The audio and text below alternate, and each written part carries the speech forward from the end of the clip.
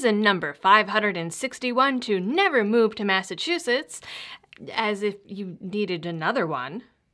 A Harvard graduate student has been threatened with eviction from her Massachusetts apartment because her roommates found out she's a legal gun owner and it made them anxious. Let it snow, let it snow and snow. After a confrontation with her roommates, she was told she had to choose between her guns and her apartment. But you see, living in Somerville, Massachusetts, 24 year old Leyla Pirnie knew about the anti gun climate and had chosen not to tell her roommates about her politics or her guns. So, how did they find out? How silly of you to ask. Of course, they searched her room while she was away. She told the Washington Free Beacon, a few weeks ago, I came back to my apartment from a weekend trip and was confronted by one of my roommates who asked if I had guns in the house. After being told far too many lies to count, my roommates finally admitted that they searched my closet, under my bed, and all of my drawers in pursuit of finding my guns. But why did they feel so compelled to search her room? Because they saw she had a MAGA hat and is from Alabama. Because apparently having a red hat and being from the South makes you a second class citizen without the luxury of privacy and property rights. The roommates put two and two together and just assumed that she had something and became determined to find it. When Leyla asked her roommates why they didn't just ask her about it, one girl told her that fear took over her body and she felt compelled to search my room until she found proof. You know what she did? What ensued afterwards was a whirlwind of nervous emails and a very thinly veiled eviction notice. Once the roommates found the guns, one of them chose to email landlord Dave Lewis, the president of Avid Management, a property management company that had only a one star rating on Yelp even before this happened. The roommate wrote that they urgently needed his attention and action, requesting immediate intervention because the roommates were feeling uncomfortable and unsafe. According to the email, Leyla explained to them that she was properly licensed and in legal compliance, but the roommates insisted that their presence causes anxiety and deprives us of the quiet enjoyment of the premises to which we are entitled. They then demanded she keep the guns locked up with trigger locks, unloaded, and locked in a gun safe, which is more than even the state requires. And to top it all off, even with all of those safety measures in place, the roommates were concerned that the guns would just go off on their own, randomly shooting people in the dead of night, and so requested that the unloaded double locked guns be stored without their firing pins. Because in a home or self defense situation, you want to be fumbling with a fire pin and trying to put your gun back together.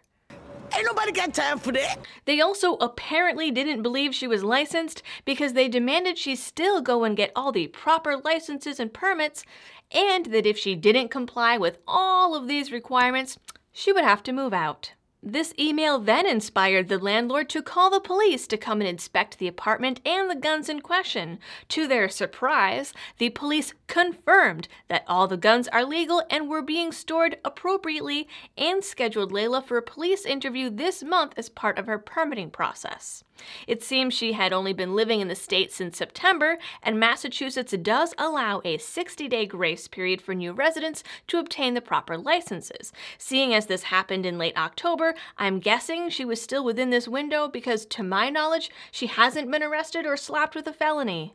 The landlord then went on to say that because Leyla has a quote difference in philosophy and lifestyle and thought it absurd that she would have to choose between her apartment and her guns, it would be best for all parties if she finds another place to live. He didn't give Leyla any other options, but so generously offered to waive the $250 roommate change fee.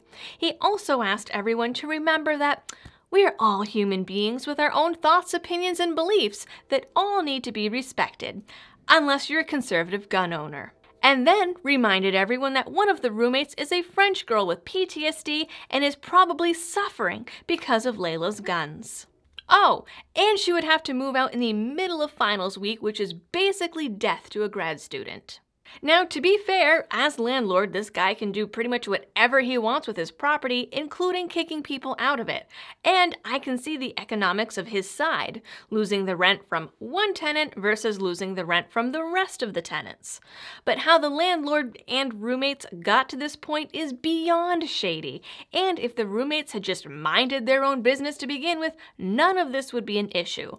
Up until they went snooping in her room and found her guns, the roommates all thought of Leyla as a valuable housemate. Another thing to consider here is Massachusetts has really crazy tenant laws, which is probably the only thing that has stopped the landlord from handing her an official eviction notice.